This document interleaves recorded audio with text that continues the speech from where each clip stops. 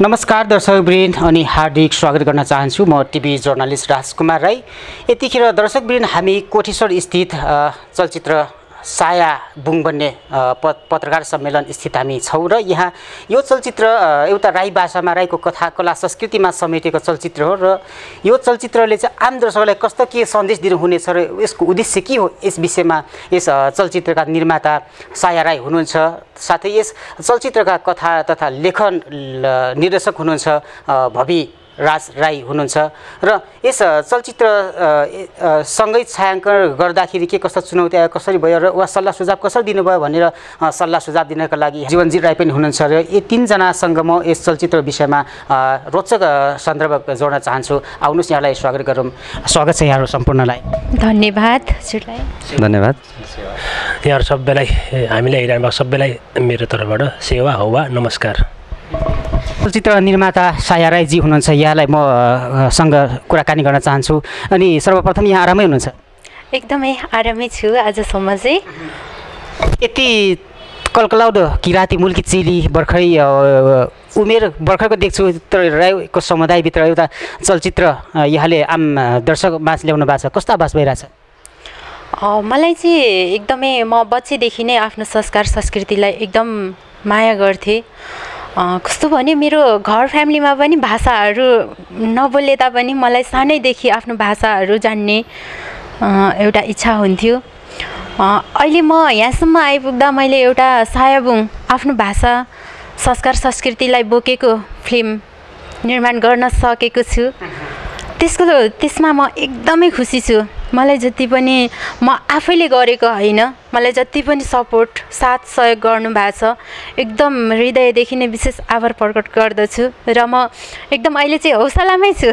तपाईँले यो चलचित्र निर्माण गर्छु भन्ने अठोट चाहिँ कसरी गर्नुभयो पहिलो कुरा। कसरी बन्छ होला। त्यो भित्र चाहिँ जस्तै अब गाउँतिर टिभीतिर हेर्दाखेरि त्यो भित्र चाहिँ होइन कसरी पसेर नाच्छ होला भन्ने खालको मलाई भित्रभित्रै हुन्थ्यो। सानैदेखि म फिल्मको बारेमा चाहिँ एकदमै खोजी गर्थेँ। अनि जुन म एसएलसी पछाडि चाहिँ मैले जस्तै अब बुझ्दै गएँ यो चाहिँ टिभीभित्र पसेर नाच्ने होइन रहेछ। एउटा क्यामेराबाट खिचिने रहेछ। अनि पो फिल्म आउँदो रहेछ अनि पो फिल्म बन्दो रहेछ कथा लेख्नुपर्ने रहेछ। यस्तो यस्तो कुराहरू मैले सिक्दै गएँ जान्दै गएँ। अनि पछि गएर इलेभेन टुवेल्भ सिद्ध्याएपछि अँ, जुन भगिराज दाईसँग भेट भयो मेरो माउली दाई हुनुहुन्छ बुढो माउली दाई हुनुहुन्छ। अनि दाई चाहिँ अब पहिल्यैदेखि नै एकदम गाउने फिल्म बनाउने धेरै गर्नुहुन्थ्यो। अनि मैले कुरा राखेँ। कसरी बनाउने फिल्म कसरी बन्छ? अनि भनेर सोधीखोजी गरेपछि दादाले नै भन्नुभयो कथा लेख्नुपर्छ पहिले कथा हुनुपर्छ अनि फिल्मलाई कथाकै आधारमा फिल्म बनाउने हो भन्दै अब उहाँले नै सिकाउँदै जानुभयो। उहाँको एउटा पहिल्यैदेखिको सपना एउटा संस्कार संस्कृति आमाको सपना पनि छ भन्ने कुरा। हो त्यसैले हामीले चाहिँ भनौँ मोटिफाइभ गरेर अहिलेको र हिजोको कुराहरूलाई र अहिलेको जेनेरेसनमा हुने कुराहरूलाई हामीले उठाउन खोज्यौँ होइन? हाम्रो भाषा संस्कार संस्कृतिलाई जसरी बचाउनुपर्छ भन्ने कुराहरूले हामी सरल भाषामा सायाबुङ बनाएको छौँ होइन? कलाकार पात्रहरूको चाहिँ कस्तो खालको यहाँले चरित्र या चित्रण गर्नुभएको छ? यो पनि आम दर्शकलाई स्पष्ट बताइदिनुहोस् न। कलाकारहरू एकदमै नयाँ अनुहारका छन् तर पनि केही जो जो गोठको रोल गोठ गोठाले जनजीवनमा रोल प्ले गर्ने जुन बाङा अनि मिराग जो सौजन सुब्बा र सगुन सुसरा लगायत सुम्निमाहरूको जुन गोठाला जीवनको एकदमै मार्मिक छ होइन? हिमाली भेगमा जीवन बिताउने गोठालाहरूको जनजीवनलाई एकदमै समेट्या छौँ होइन? आइपर्ने कुराहरू र यता हाम्रो संस्कार संस्कृतिको त छँदैछ। अ, त्यही विषयहरूमा उठा उठाइएको छ। चाहिँ कस्तो लाग्यो यो चलचित्र? यहाँले हेर्नु भएको छ सँगसँगै यात्रा गर्नुभएको छ गर्नुभएको छ। कस्तो लाग्यो उहाँहरूको यो गतिविधि एक्टिभिटिजहरू यहाँलाई? भोगिराज राई मैले थाहा पाउँदादेखि नै उहाँ फिल्म क्षेत्रमा हुनुहुन्छ। मैले थाहा पाउँदादेखि नै उहाँ गाउँको सानो टिपिकल नाटकहरू खेल्दै नाटकहरू बनाउँदै फिल्म क्षेत्रमा आउनु भएको छ। उहाँले एकदमै राम्रो बनाउनु भएको छ भन्ने मलाई लागेको छ। हामी धेरै ठाउँमा कता कता गयो तर उहाँ चाहिँ फिल्मको लागि फिल्ममै फिल्म क्षेत्रमै लगानी उहाँको एकदम इन्भेस्ट छ। यो यो यो समयसम्म यो उमेरसम्म त्यही भएर यो फिल्म एकदम राम्रो बनेको छ। यसमा अब जस्तै हाम्रो किराँतीहरूमा घर एक ठाउँ र अर्को जग्गा माथि हिमाली भेग अथवा अलिक टाढा हुने त्यो खालको कथा छ। गोठमा बसेर कसरी जीवन बिताइन्छ? गोठको जीवनहरूलाई उठाउँदै उठाउँदै यसमा चाहिँ उहाँले गोठको जीवनबाट सुरुवात गर्दै गर्दै कल्चरहरूको त्यसरी गाँसेर बनाउनु भएको छ यो फिल्म चाहिँ। त्यही भएर यो फिल्म चाहिँ सबैलाई मनपर्छ भन्ने मलाई लागेको छ। आशा गर्नु भएको छ। यहाँले आम दर्शकहरूले यो फिल्म प्रशस्त मात्रामा रुचाउनको लागि अथवा उहाँको फिल्म उत्कृष्ट हुनको लागि चाहिँ यहाँले अब प्रदर्शनको क्रममा पनि यहाँहरू हुनुहुन्छ। के सल्लाह सुझाव दिनुहुन्छ? सल्लाह सुझाव त मेरो खासै छैन तर यो फिल्म चाहिँ सायाबुङ चाहिँ हाम्रो साया बहिनीको सपना उहाँको आमाको कथाहरू जोड्दै जोड्दै हाम्रो निर्मात्रीले भन्नुभएको जस्तै यो नौ लाख किराँतीहरू भन्नुहुन्छ तर अहिले नौ लाख त बढी भइसक्यो होला। नौ लाख किराँती अहिले कति नौ दुन अठार बिस बाइस लाख बेला आम किराँतीहरूको मात्रै नभएर आम नेपालीहरूको कथा हो र सबै यहाँ जति पनि हामीलाई हेरिरहनु भएको छ यहाँहरू सबैले हाम्रो निर्माता साय राईलाई माया गरेर यो चलचित्र एकचोटि हेरिदिनु हुन अनुरोध गर्दछु। र यो चलचित्रका धेरै कथाहरू अगाडि भन्दा अलिकति नमिठो होला त्यही भएर तिस गतेपछि हामी अझै कथा डिटेलमा भन्नेछौँ। अहिले चाहिँ अब हामीले अहिले भन्नुपर्दाखेरि यसमा साया सायाबुङ भनेको यो सिरफुलको कथा छ। बान्ता भाषामा सायाबुङ भनिन्छ सिरफुललाई त्यसैले चाम्लिङमा टाक्लोबुङ भनिन्छ। यो चलचित्रमा चाहिँ बान्ता यो भाषा त्यो भाषा नभएर समग्र राईहरूको जस्तै चामलिङले बोल्ने आराखा बान्तावाले गाउँको टिपिकल त्यहाँ बोल्ने लिम्बू भाषाहरूसम्म युज गरेकोले यो सम्पूर्ण किराँतीहरूको भाषा यो चलचित्रमा समावेश भएको छ। भनेपछि यहाँले चलचित्र यसरी निर्माण पनि गर्नुभएको छ। यसको लागि अब तिस गते यहाँले रिलिज गर्दै हुनुहुँदो रहेछ जुन आज पत्रकार सम्मेलन पनि गर्नुभएको छ। त्यसको लागि के कस्तो यहाँले तयार गर्नुभएको छ कहाँबाट यो कुन हलबाट यहाँले रिलिज गर्दै हुन्छ बताइदिनुहोस् न। आज चाहिँ प्रेस मिट गरेको छु सायाबुङको। यो मैले कथा जे फिल्म बनाइसकेको एक वर्ष भयो। एक वर्ष बितिसक्यो र पनि मैले कहीँ पनि सो गर्न सकेको थिइनँ। एक त लिङ्क पनि भएन।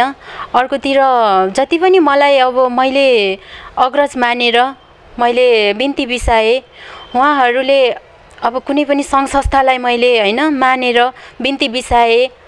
कतिले चाहिँ अब सपना पनि देखाउनु भयो म गरिदिन्छु। गरिदिन्छु बहिनी भेटौँ भन्नुभयो। मैले भेटेँ। जब भेट भएपछि उहाँहरूले त्यस्तै खालको कुरा गर्नुहुन्थ्यो। म किनकि एउटा छोरी मान्छे हो। उहाँहरूको गलत सोचाइ हो त्यो। उहाँहरूको गिद्धे नजर हो। मैले यस्तै यस्तै हुँदा हुँदै म एक वर्षसम्म लस भएँ एक वर्षसम्म मैले कहीँ पनि च्यारिटी सो गर्न सकेको छुइनँ। अहिले आएर चाहिँ मैले व्हाइट फेस यसमा चाहिँ म पनि आबद्ध छु। अनि जुन मेरै संस्था यही व्हाइट फेजको माध्यमद्वारा मैले च्यारिटी सो गर्ने भएको छु। यही आज चाहिँ अब पत्रकार सम्मेलन हो। एकदमै खुसी लागेको छ होइन? सबै हजुरहरू अनि मिडियाहरू सम्पूर्ण हजुरहरूले एकदम साथ दिनुभयो। एकदम हौसलामा छु। आज यति भएपछि म गर्न सक्छु भन्ने अझ मलाई हिम्मत बढेको छ। अनि जुन तिस गते चाहिँ मेरो यही कोटेश्वरको सुम्नी महल किराँत राई आयोखाको सुम्नी महल के पो? गणेश स्थान महादेव स्थान केन्द्रीय कार्यालय? सुम्निमा हलमा दिनको बिहानको एघार बजे हाम्रो औपचारिक कार्यक्रमसहित फिल्म सो हुँदैछ। दर्शकबिन सबैलाई आइदिनु हुन अनुरोध गर्दछु। हजुरहरूले हेरेर साथ सहयोग गरिदिनु हुन अनुरोध गर्दछु। यो चाहिँ एक मेरो मात्रै सपना नभएर मेरो आमाको सपना थियो। दुई हजार उनपचास सालमा चाहिँ मेरो मम्मीले लेख्नुभएको डायरीमा जस धेरै जस्तो त्यहाँको कथावस्तुहरू चाहिँ धेरै जस्तो त्यहाँको टिप्पणीहरू चाहिँ पाँच थर पूर्वी हिमाली भेगको जुन सन्दकपुर फालोट सिक्किम भारतदेखि लिएर हाम्रो किराँत राईहरूको त्यहाँको राई लिम्बूको बस्तीलाई अनि त्यहाँको दृश्यहरू रमणीय दृश्यहरूको बारेमा लेख्नुभएको थियो उनपचास सालमा। जुन त्यो मम्मीको मैले डायरी पढेँ म पचास सालमा जन्मेँ त्यस पछाडि मम्मीको डायरीहरू हेरेँ। मैले जब एसएलसी पछाडि मैले मम्मीको लेखहरू खोज्दै गएँ। त्यसमा चाहिँ मैले मम्मीको डायरीमा यस्तो कथाहरू भेटेँ। कथाहरू भेटिसके पछाडि मैले हाम्रो उम्, दाइलाई दिएँ भगिराज दाइलाई मैले दिएँ। अनि दादाले चाहिँ पटकथा कथा मिलाइदिनु भयो त्यही टिप्पणीहरूलाई लिएर कथा मिलाइदिनु भयो अनि सायाबुङ बन्यो। जस्ट मेरो चाहिँ मेरो चाहिँ नाम पनि फुल नेम चाहिँ मेरो सायाबुङ नै हो जुन मम्मीकै डायरीबाट नै मेरो नाम पनि राखिएको थिएछ सायाबुङ हो। पछि गएर चाहिँ साथीहरूले बोलाउँदा बोलाउँदै साया मात्रै भएको हो। तर मेरो फुल नेम चाहिँ सायाबुङ नै हो। शिरको फुल बन्ने हुँदो रहेछ जुन शीर्षक हुँदो रहेछ तपाईँले यो बुझिदिनु होला। यसको लागि हामीले पक्कै पनि मनन गर्छौँ पक्कै पनि यहाँ आम दर्शकहरूले तपाईँको यो चलचित्र रुचाउनेछ पक्कै पनि मनन गर्नेछ भन्ने हामी आशा गर्छौँ। माताज्यू भनिदिनुहोस् न यो चलचित्रबाट उठेको रकमले चाहिँ यहाँले के गर्ने अभिलाषा बोक्नु भएको छ? हजुर यहाँबाट उठेको रकम मलाई जुन सेभ गर्छु भन्ने छैन होइन? मेरो लगानी किनभने यो चाहिँ रिसुट पनि गर्नु पर्यो एकदमै महँगो स्पोर्टमा जानु पर्यो। सोचे भन्दा जुन इन्भेस्ट गरेको भन्दा लगानी एकदमै धेरै बढेर गएको छ। अनि यसमा मलाई सेभ गर्छु भन्ने नभए तापनि सेभ गर्छु लगानी धेरै उठाउँछु पैसा धेरै उठाएर म चाहिँ पैसा कमाउँछु भन्ने त मलाई छैन। तर एउटा म किनभने पहिल्यैदेखि सोसल वर्क भएको कारणले जस्तै मभन्दा पनि पीडितहरूलाई म चाहिँ यो सायाबुङबाट केही रकम उठाएर म सोसल वर्क नै एउटा समाजसेवी नै गर्छु। कसैलाई मभन्दा पीडित अलिकति निम्न वर्गको कोही अब दुःख दुःख पाएको होइन अनि बिरामीहरूलाई सहयोग गर्नेछु। अहिले पनि मैले जुन यो किराँत राई आयोखामा पर्सि तिस गतेको सोबाट पनि उठेको रकम चाहिँ मैले केही चाहिँ यता हाम्रो बालकान्ति हस्पिटलमा तेह्र वर्षको बच्चा छ बालिका हुनुहुन्छ उहाँ चाहिँ रोजिना नेपाली। उहाँको लागि म केही मैले सकेको केही रकम उहाँलाई आर्थिक सहयोग गर्न चाहन्छु। यो चाहिँ मैले कसरी गर्ने गरेँ भने हामी चाहिँ यही हाम्रो सफेद चरणको व्हाइट पेजको ऊबाटै हामी हस्पिटल हस्पिटल हस्पिटल हामी गएको थियौँ। त्यतिखेर जुन रोजिना नेपालीको आमाले चाहिँ एकदमै दुःखको साथ भरै औषधि खाएर बिहानको औषधि किन्ने पैसा थिएन। हामी जुन हेल्प गर्छौँ नै भनेर गएको त थिएनौँ तर पनि हामीले त्यो पीडा देखिसके पछाडि हामीले त्यतिखेर पनि अलिकति केही रकम छोडिदिएर आएका छौँ। अनि फेरि पनि यो च्यारिटी सो पछाडि म फेरि रोजिना नेपालीको लागि नै केही आर्थिक सहयोग गर्दैछु। विश्वस्त हुनुहुन्छ। अब लगभग हामी कुराकानीको अन्तिम चरणमा छौँ अन्तिमतिर छौँ। यहाँहरूले चाहिँ कतै यो कुरा आम दर्शकहरूमा राखिदिनु पाए हुन्थ्यो अथवा यो राजकुमार राईले कतै केही सोध्नु बिर्सेको कुरा छ भने यहाँहरूले एकमुष्टमा राख्न सक्नुहुन्छ। निर्माताज्यू म चाहिँ अब विशेष भन्नै पर्दा होइन अहिले अब सो हुन लागिरहेको मेरो सायाबुङ चलचित्रलाई चाहिँ जुन साया राईको मात्र सायाबुङ होइन आम किराँतीको सायाबुङ हो भनेर सबैलाई निम्तो एकदमै चुले निम्तो छ। हेरेर साथ सहयोग गरिदिनु होला। The best all of you तपाईँको यो एकदमै चलचित्र चाहिँ सफल रहोस् राम्रो होस्। आम दर्शकको मनमुटुमा बस्न सकुन्। हामी पनि यही कामना गर्छौँ र प्रत्येक हल हलमा खचाखच आम दर्शक भएको हामी देख्न पाऊँ।